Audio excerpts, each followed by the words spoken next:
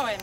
Would you like to I hear a weird poem? poems. Yeah. All right. This one is actually by a queen.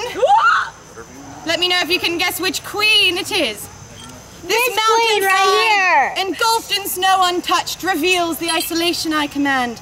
The icy storms that I once tightly clutched within my heart are blanketing the land.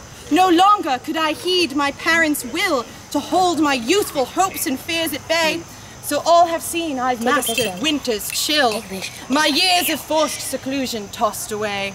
The page hath now been turned, I'll break the chains that kept restrained my true identity. This queen will rule, but o'er her own domain, without a care for what they think of me. I'll not again the falling snow withhold, for I have ne'er been bothered by the cold. I couldn't do it.